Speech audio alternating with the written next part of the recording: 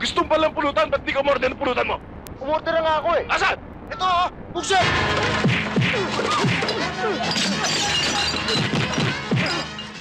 Kailangan mo magpahinga. Alalahanin mo, bukas mapapagod ka. Pupunta tayo sa baryo para magbigay ng tulong sa mga tao roon. Mama, ano na kaya nangyari sa kanila dun sa Maynila? May nagbibigay kaya ng tulong doon? Maraming taong mapagkawang gawa doon. Nagkataon lamang na malapit ang bahay natin sa squatters area, kaya mas madalas tayo nakakatulong sa kanila. Kumusta na kaya si Gilier? Halika rito. Ano ho yun, sir? Ah, pakikuha nga yung pulutan ko doon sa kabila. eh, baka magalit Huwag ka po magalala. eh. Mga kasama ko yan. Sige na. Oo.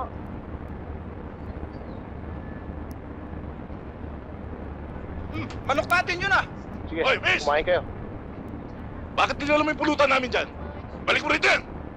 Akin na raw. Ay! Miss! Hoy! Miss! Ito mo ilagay yan eh. Ano ba? Babalik ba yan o hindi? Masyado kang pakilomera ha? Wala na tayong pagkain. Oo nga, gutom na gutom na ako. Di ba, Ren? Boss, baka gusto ka subukan. Oo nga no.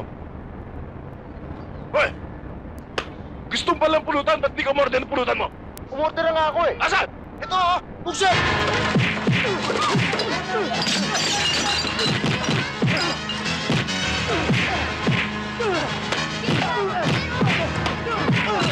buksan!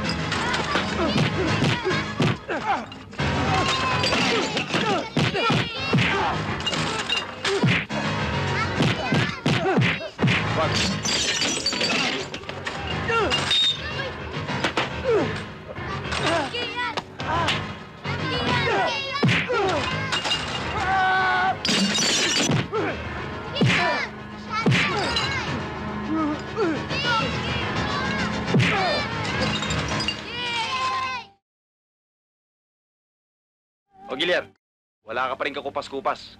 Matindi ka pa rin hanggang ngayon ah. Eh, di maiwasan, malaki. Sige na, split na. Ako nang bahala rito. Paano to? Akong bahala pag nangreklamo yan. Sige na. Thank you ah. Hmm. Sige Thank na. you. Sige pare. Sarento, sino ba yon? Kababata ako yan. Maliliit pa lang kami. Magkakasama na kami yan. Matindi talaga yan.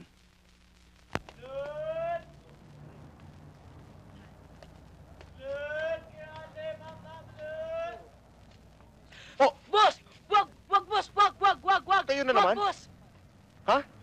Boss, salamat po sa fried chicken. Nabusog po ako. Ha, ayun. Teka muna, pati ba ito kanina pinat... Hindi naman po kami uminom eh. Nung pinas break niyo yung chicken, eh, pinakbakan na po namin. Sige.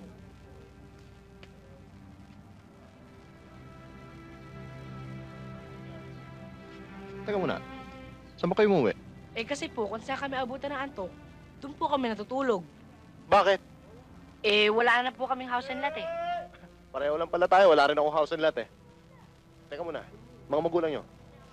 Ekmi na po. Mina.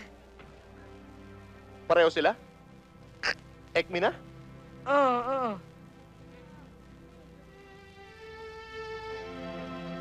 Akin na mga yan, bawal yan dito, ha? O paano dito na kayo titira? Baka pag-aaral na kayo mabuti at gaganda ang pamumuhay ninyo. Hindi na po ba kami magugutom dito? Hindi. Ah, maraming pagkain dito. Salamat po. Um, Miss Yuson, pakihatid mo na nga sila sa kwarto nila. Opo, sister. Halina kayo. Kuya! Salamat! Malaki na bahay namin ngayon, mansyon. Ang laki, no? Ayos! Kuya, Ano? talo ka namin. Bakit? Malaki bahay namin. At marami pang silid. Nang inggit ka pa, ha? Ah, Boom! Uy, ah, Patay. Ano nangyari sa mo? kuya, dadalawin mo kami, ah. Sige. Sa makalawa. Nagpunta kami dito ng mga bata kagabi, kaya lang, sarado na kayo. Natutuwa ako sa mga ginagawa mong pagtulong sa mga bata. Kaya lang mas matutuwa ako kung ginagawa mo ito sang ayon sa kagustuhan mo, hindi dahil sa mga biling sa'yo ni Cynthia. Hoy, Tox. Matagal nang wala rito yung mga tao. Matagal nang wala dito si Cynthia. Pero hindi yun pa rin siya nakakalimutan. Ang mga pangaral niya sa'yo. Gilyar, kailan mo siya malilimutan? Kailan may ibabaling ang tingin mo sa iba? Makaalis na nga para sa mga bata.